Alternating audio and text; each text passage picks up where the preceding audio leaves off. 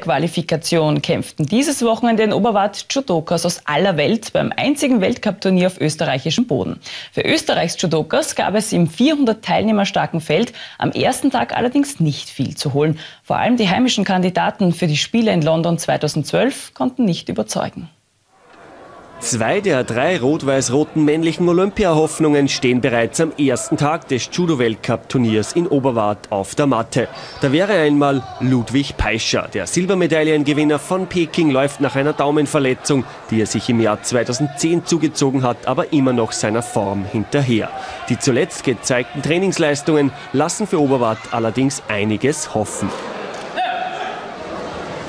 Der 30-jährige Salzburger gewinnt den ersten Kampf gegen den Briten James Miller durch Yuko. Übrigens sein bereits vierter Erfolg gegen den jungen Briten.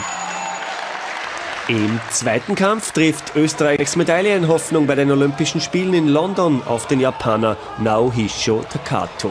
Ein junger Kämpfer, der in der U17 und in der U20-Klasse bereits Weltmeister wurde. Nach 18 Sekunden ist der Kampf dann auch schon wieder zu Ende. Peischer unterliegt mit Epon. Ja, natürlich, es kann im Judo eben passieren, dass es schnell Niederlagen gibt. Aber ich habe gewusst, äh, wann ich gegen ihn gewinnen will, muss ich von Anfang an Gas geben und auch ein gewisses Risiko nehmen. Das habe ich äh, gemacht und er hat äh, schön, einen kleinen Fehler von mir super schön ausgenutzt und hat mich schön geworfen und erwischt. Würden Sie sagen, es fehlt eigentlich nur mehr das Erfolgserlebnis?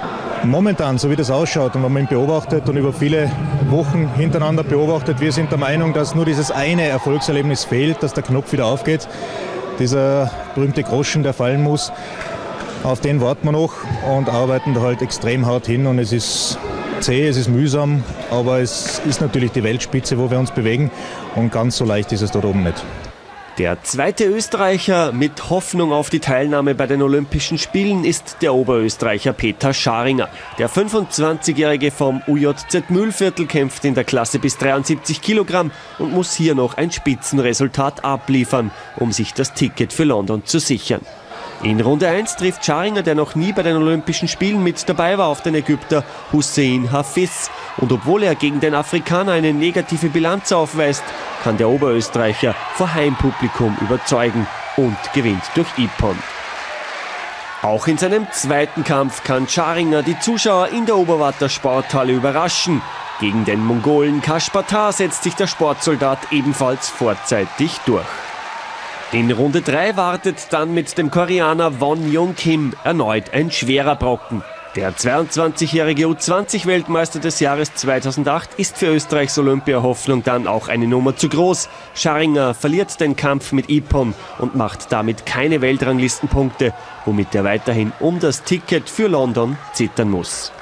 Ja, natürlich ist es sehr bitter. Beim Heimweltcup erwartet man sich immer, dass man halt die Atmosphäre, dass man die beflügelt und dass man sich halt durch das Viere kommt und nur mal das Eizel dazu setzt. Und ich habe zwei super Kämpfe gemacht. Ich habe einen in ersten den Ägypter geschlagen, der knapp bei mir ist im Olympia-Ranking.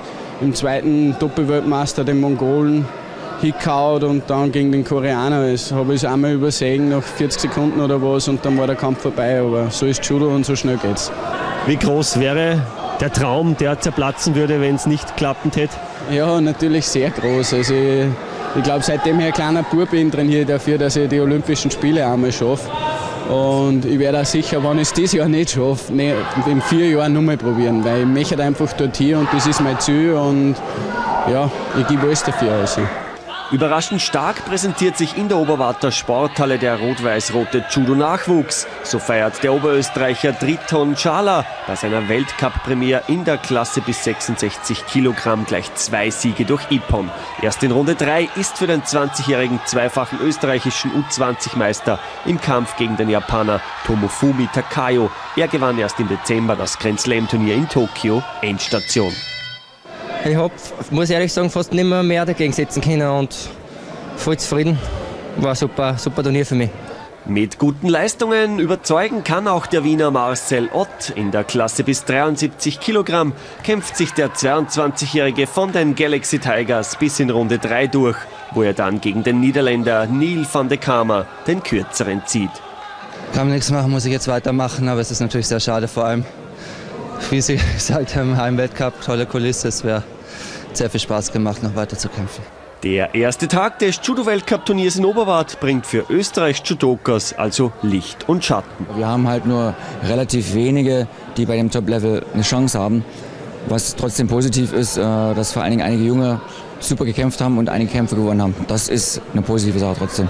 Der Nachwuchs gibt in Oberwart also ein starkes Lebenszeichen von sich. Bleibt zu hoffen, dass Routinier Ludwig Peischer bis zu den Olympischen Spielen in London ebenfalls wieder zu seiner Form gefunden hat.